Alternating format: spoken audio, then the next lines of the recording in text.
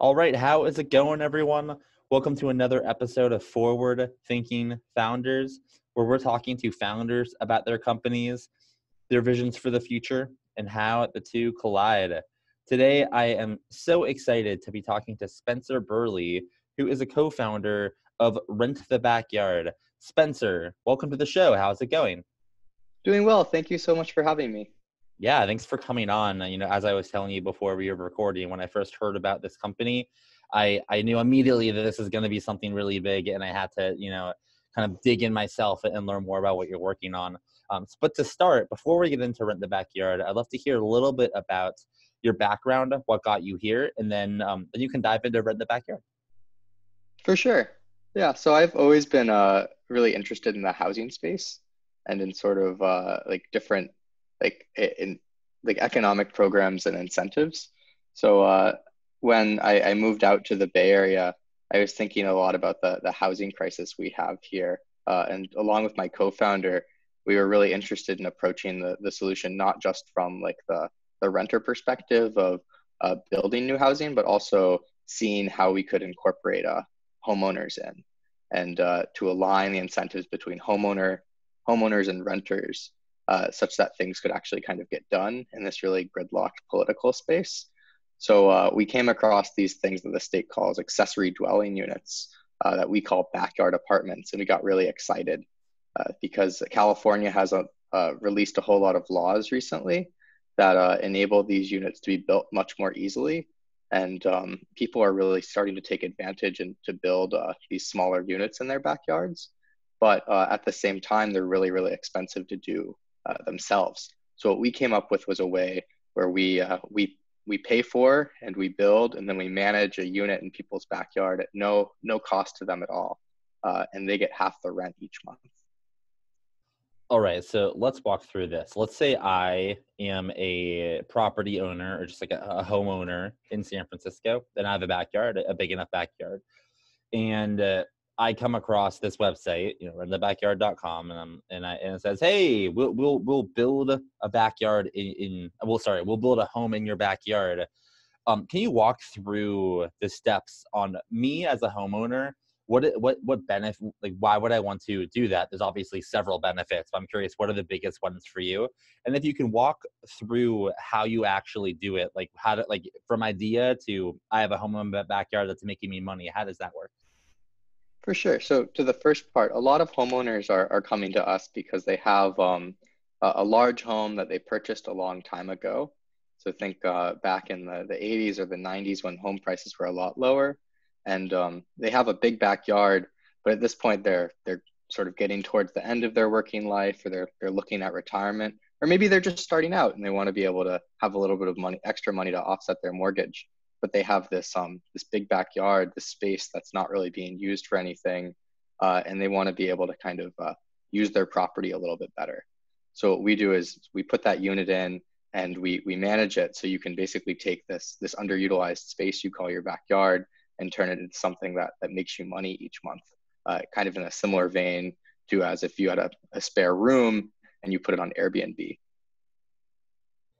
Okay, so as I mentioned uh, when we first started, I think this is genius. And I think it's genius because so many people in the Bay Area, well, actually, I'm not going to say, it. I don't, I'm not even fully educated on this. Can you explain what's going on in the Bay Area rent wise and price rise and like, and, and just kind of dynamic wise that makes something like rent in the backyard so, so much more crucial than potentially if it was around in like Arizona where maybe things aren't that expensive and they're more sprawled out? Sure, I'm I'm not a macroeconomist, but um, in general, the situation here in, in the Bay Area has been one where uh, where a, a lot more people have moved into the area than have moved out, and at the same time, uh, housing hasn't really been built. So over time, that's led to an expansion in in just the price in general uh, of everything here in the Bay Area. The cost of living has gone way up, and uh, you really see a rise of people that are called super commuters here, who um, who commute more than 90 minutes each way to work every single day because it's too expensive to live uh, in, in a place like Mountain View or even San Francisco. Uh, so they're coming from places like Fremont and, and uh, other places far, far east uh, on the other side of the bay. And of course, that's a really difficult from a like a living perspective and having a family if you're spending three hours every single day commuting to and from your job. But it's also um, pretty terrible for the environment, right? Because a lot of these people are uh, are in their cars by themselves, um, sort of just stuck in traffic a whole lot of the way. So what we're trying to do is like make uh, make these places a little bit denser and uh, help uh, with the amount of housing in the region, both to be able to enable people to live a little bit closer to their work and uh, be a little bit more environmentally friendly and, and have a higher quality of life, and at the same time to um, to hopefully help make the Bay Area a little bit more affordable place to live.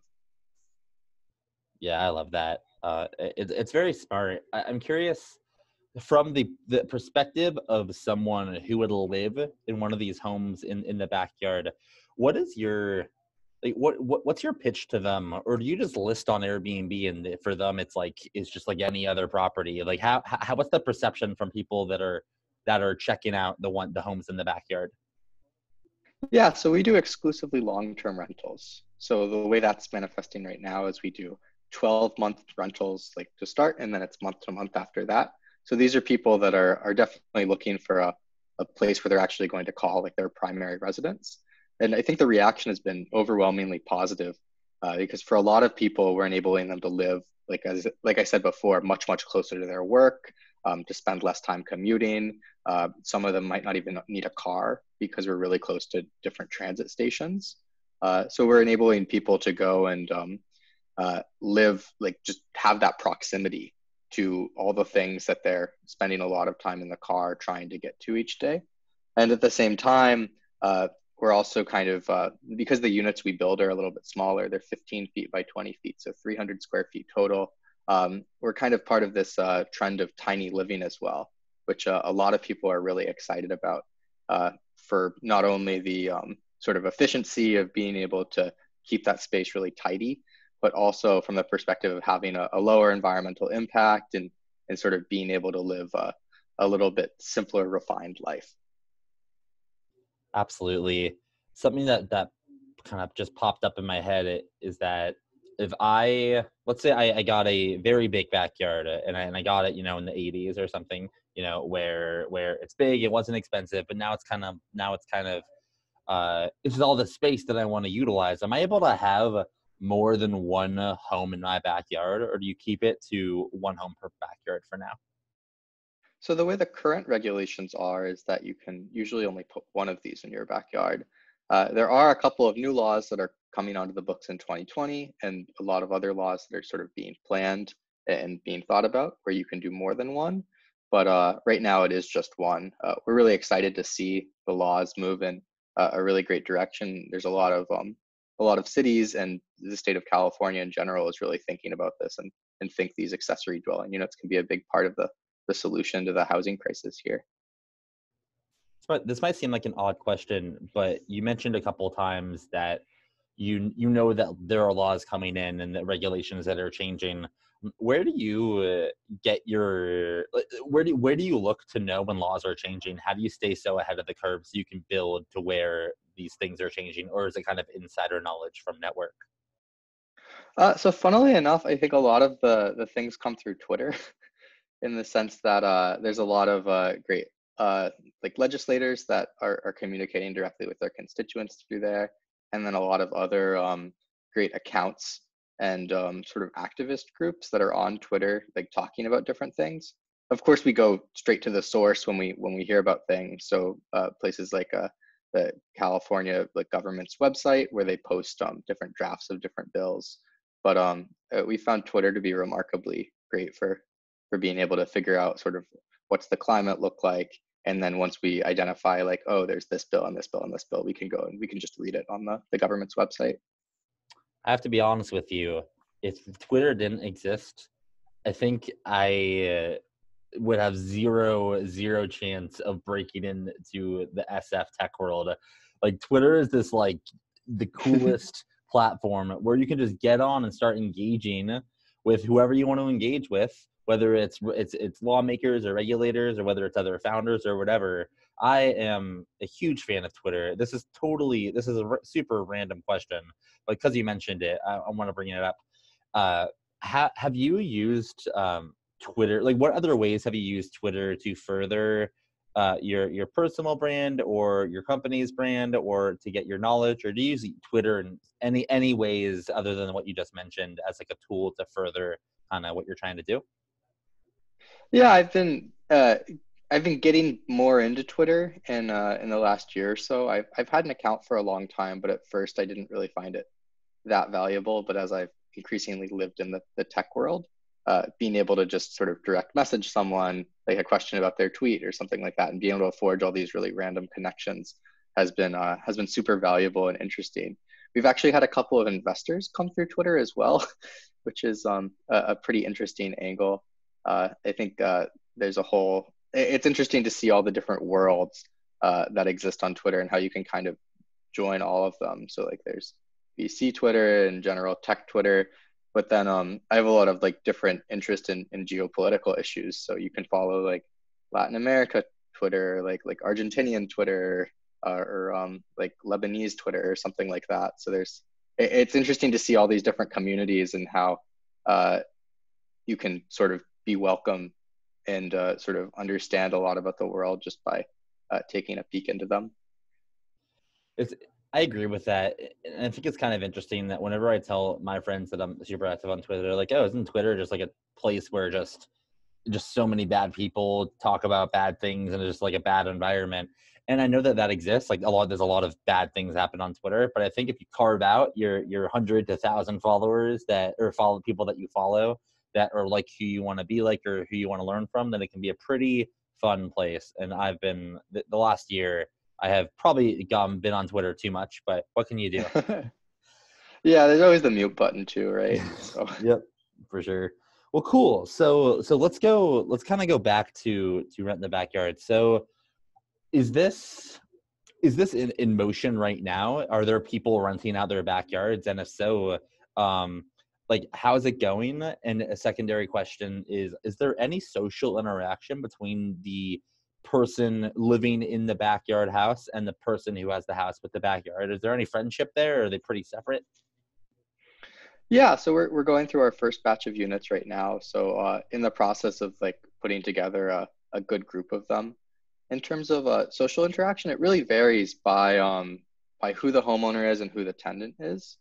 So from that, uh, like there are some homeowners that are, are looking to do this much more of like a in in the sense of like a, a modern Airbnb host, I guess would be the best comparison. So like very very professional. Um, like maybe there's even like a little bit of fence that defines like this is your part of the backyard, this is my part of the backyard, and there isn't much interaction. Uh, so some homeowners value their privacy, and uh, we're we're fine with that. Uh, there are other homeowners that are uh, um, uh, looking definitely to have that more of a like friendship and community aspect. So we actually have uh, for a lot of the the units, people are looking to house people like their friends or their family members in these units. So we see a lot of uh, like multi-generational families get really excited about uh, what we're offering. So being able to um, say if you're you're an elderly couple, you could put one of these units in the backyard, move into the unit, and then have your have your kids and their sort of family move into the the larger house on the lot. And and what that would let you do is your your kids could save a lot of money on rent and then you could also go and um, be able to uh, to share that space and be close to your relatives.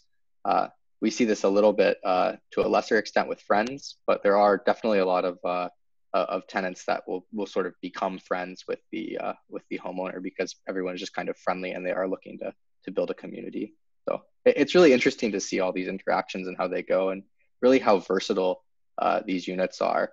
we see the the multi generational family with like grandparents live out back, and then the the, the parents and, and children uh, of the current generation live in the house. But also things like uh, like teenagers coming back after college, uh, living in a, a, back unit is also a, a, use case, and there are a lot of others. And people seem to take it in, in really surprising ways that always really excite us. Yeah, that's awesome. I feel like a lot of good social interaction could come from it and kind of redefine the word neighbor uh, you know what na- what neighbor looks like in the future. I i think i read this on your website but I don't, I don't fully remember how this works. So are you also kind of a construction company where you you you match them up and then you build these these tiny homes or these smart homes? Um, or how do you like how do you actually build them and if you if you do build them like how do you get the expertise to know how to build that stuff? Yeah so to our customers we're we're really full stack. So we we pay for the unit we build the unit and we manage the unit. So the um, to our customers like they're not doing any of those things. On our end though we're a we're a smaller startup um, and we're definitely looking to and we do work with um, different third parties that are really experienced in this space. So right now for um, for the building process we work with a, a really experienced builder that's built over 180 of these units all around the bay area. So they're able to really support us in things like uh, drawing up permits for cities and actually like having a factory to, to produce these units which lets us scale and really focus in on the customer experience and then also like the financing side of the business to like make sure everything happens. Got it I, I just got a another random question i don't know where, where these random questions are coming from but they're just kind of like popping up and i want to ask i know very little about this world of uh, of i'm just going to say it like have you ever considered in the future that it is possible where you could have a home that is kind of looks the same in different backyards that you could like almost 3D print it once the technology is caught up. Is that way ahead of its time or is that actually something that people do or could do in the next couple of years? So there are actually a couple of companies that do 3D print uh, like homes and we're really excited about those.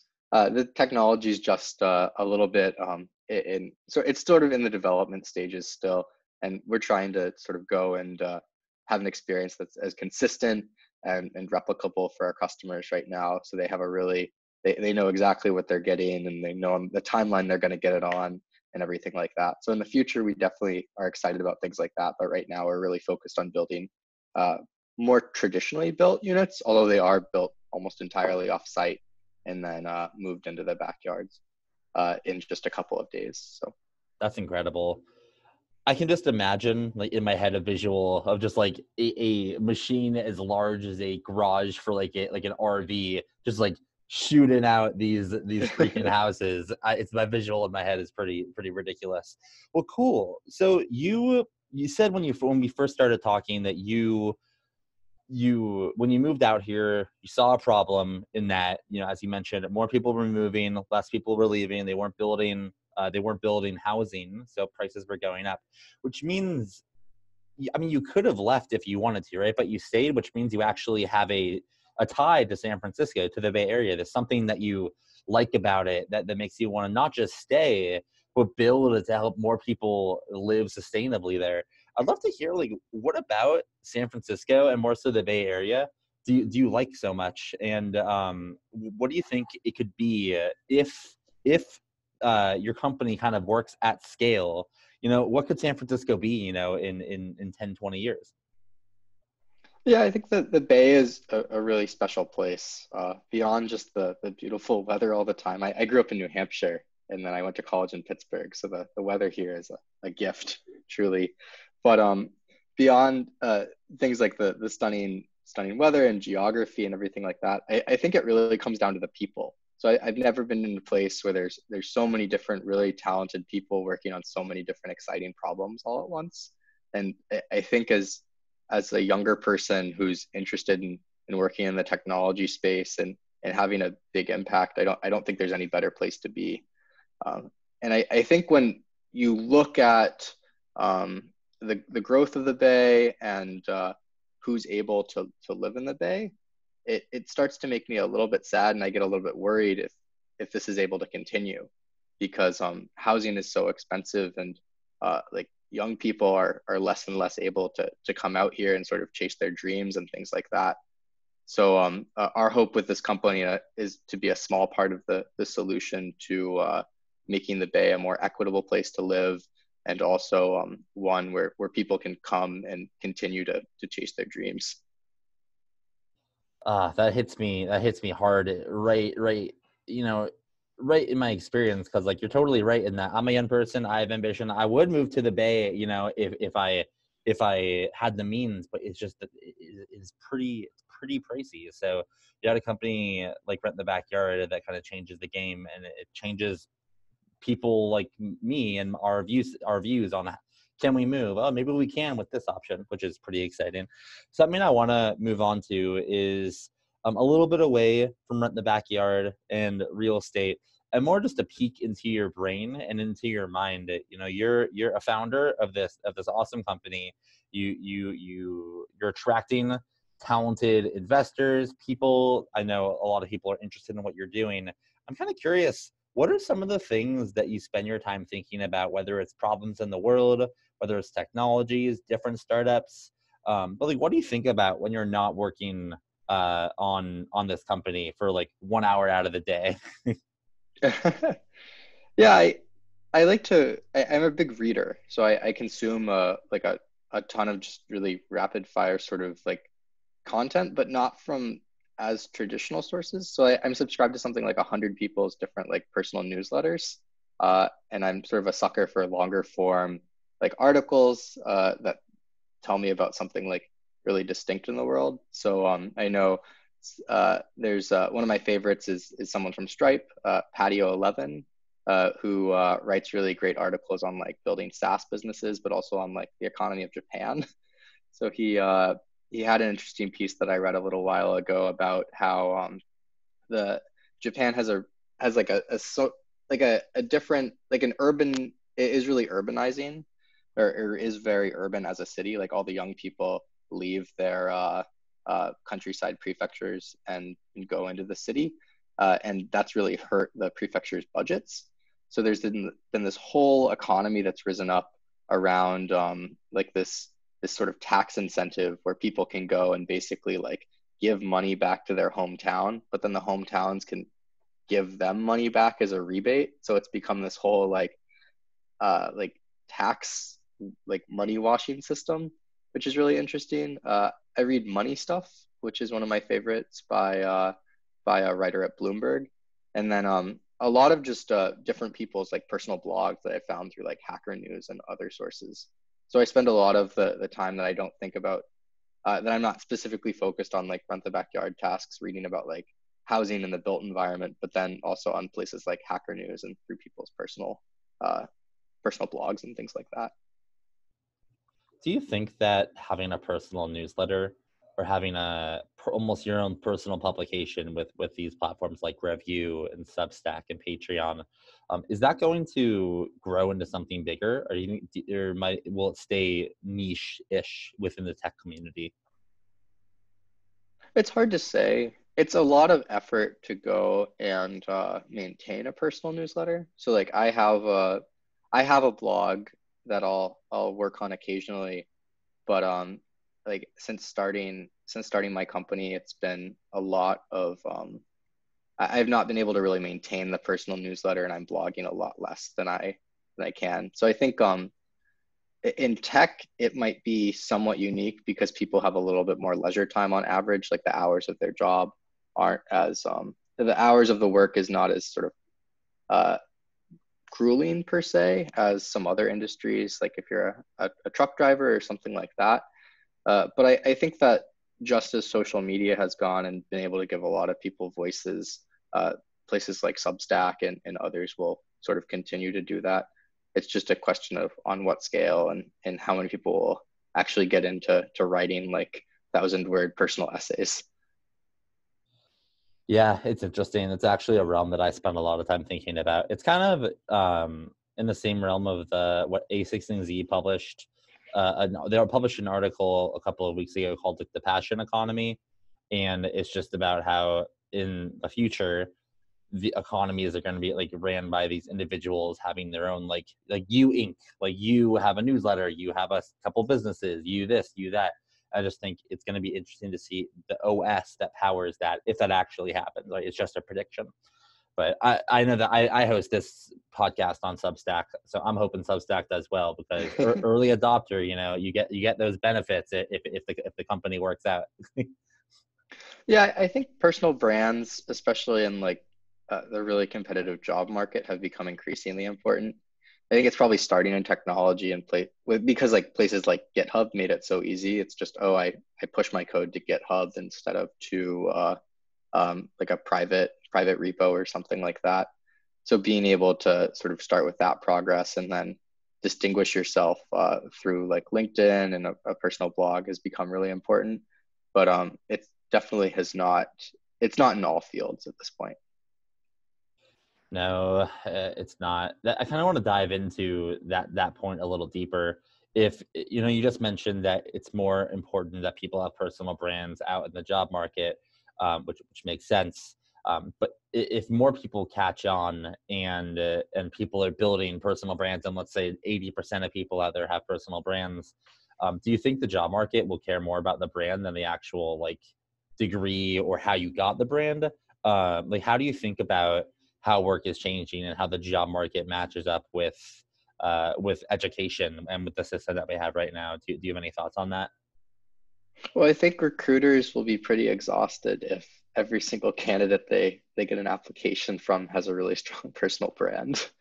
So I think there's definitely um, a, a dilutive effect there, wherein like right now, like if you're if you apply for a job and you're the only person that's written a blog or has like a really strong portfolio of work like a recruiter can spend more time looking at it. But at the point where everyone's doing it i worry that it's like it hurts the um i, I worry that it might like hurt the equality of like uh, or like the the access that people have to different jobs. Because like if you're um closer to the end of the spectrum where it's like harder to make ends meet being able to take the time to actually put together a portfolio and um, like write long form blog posts and things like that isn't necessarily a luxury you can like afford to do. So I, I think that's like a an effect I'd worry about. I know in computer science that's already kind of a a, a thing, uh, especially on the the portfolio side. Like a lot of uh, a lot of people want to take a look at your GitHub, but if you're just sort of uh, if you're working your nine to five and you have a family, being able to take the time to actually produce like a, a portfolio of uh, things I coded, just not not for work, uh, is a lot. So I think like employers need to be realistic about like their expectations, but at the same time, like as a candidate, it, it's a nice little hack if you can find a way to to make a recruiter care about you more than more than other candidates. Yeah, that that's that's really insightful. I haven't thought about that that element, but it's hundred percent uh, real and, and and relevant. I feel like once everyone has a brand, it's just what's the next thing? Like what's the thing after having a brand? Because the the the smartest uh, the smartest people will always like uh, think of how to get ahead in a market. Um, but of course, there will always be people that can't get ahead because you know because you just said because they're like just trying to make ends meet. It's an interesting perspective. So, so shifting the conversation a little bit. Uh, so you, you, do. Uh, I should have asked this already. Uh, do you mind sharing when you started Rent the Backyard, and and what have you learned so far since you've started it, whether it's a short term or long time? Um, like, what have you learned so far on your journey? Yeah, so we started the company a little bit over a year now, and it's been a really fantastic learning experience. So being able to like um, interact with a, a really wide variety of folks across like the construction space, which we weren't as familiar with. Like we've we've had a learning curve that's just been uh, like we've had hockey stick growth in that respect, and then also being able to figure out um, how to work with cities has been a um, a really remarkable experience. Uh, there are some things like in some ways it's like learning a new language because um when when you go to a city like there's there's the codes and then there's talking to the um, the different planners who usually are, are extremely kind people and will give you a, a great deal of their time to really really help you understand what's going on. And um, to just get really deep into that built world has been incredibly exciting. Uh, of course we just uh, went through y combinator as well the, the startup accelerator and we've been um, we've been really excited by uh, just the the fantastic variety of people that we met there as well So uh, all sorts of people building really incredible companies, and um, it, it, makes me really really optimistic about the world. So I think um, there's been a lot of really hard skills that I've learned since starting a company, but um, the the part that I've, I've definitely cherished the most has been the, the people I've I've been so fortunate to interact with and, and meet and learn about what they're working on as well. Do you mind sharing uh, some examples of uh, of companies or people that you met that really are exciting and interesting, and you think are going to do good things for the world? Yeah, so there's um, one of my favorite companies from the last Y Combinator batch was um, I, I forget their name, but it, it started with a Z, and, and is definitely on the like the TechCrunch overview. But they're building like a like an Uber Eats style delivery service for um, Iraq. So like Iraq doesn't actually have like an to my to my understanding from talking to the founders for a, a little bit, like Iraq doesn't really have a system of addresses. So they have to go and they're building this company that that is delivering food, but at the same time they're kind of nation building by um by coming up with like all these like very very basic building blocks and i think that's going to put them in a really incredible position to to really sort of shape that nation and and make it into something uh, like sort of more stable and and, and better uh, because it's really change coming up from the uh, from building up from the ground and they're sort of uniting all these different like political factions or um, religious factions so sunnis and shias and kurds all, all working together to to make the country a greater place um, one of the, the companies that we uh, we like a lot as well is um, is Project Wren. So they're basically like a Netflix uh, uh, style like offset subscription. So basically, you can offset your um, your carbon uh, emissions by going and, and, signing up for their service each month and taking like a, a, short little quiz. And they're working with like a lot of great projects to do things like reforestation and then also like carbon sequestration. Uh, another one of our, our favorite companies is building a a Robinhood app for uh, for the country of India to try to go and uh, make it much much easier for them to go or for for like people in India to access like uh, U.S. stocks and being able to like sort of share in that economic growth. So a lot of really um really empowering companies that are are going and, and building a whole a whole suite of um, great things for the world. But um yeah, there's there's too many to name. So that's just the the ones on the top of my head right now. Of course, of course. Well, I love when when YC has their uh, demo day and then they they announce all of their companies just on their website, and I just spend a day. I click through every one, and they're all just so cool. And then I found yours, yeah. and I'm like, this is cool too. I want to talk to him or talk to them. Mm-hmm. Uh, so yeah, that, I, I I think it's twice a year. I, I love just the ability to to figure out who's gone through YC and and and what are they building for the world because uh, usually a lot of those companies do very well, you know, which is uh, which is a testament to their power. Uh, well, cool. So so that's awesome. I, I have a, one more question for you uh, before we before we wrap it up.